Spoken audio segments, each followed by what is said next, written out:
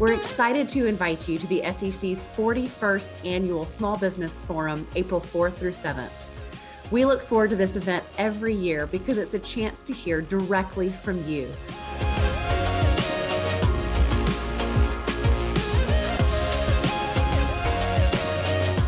The forum offers an opportunity for you to provide invaluable feedback that informs the capital formation policy initiatives here at the SEC.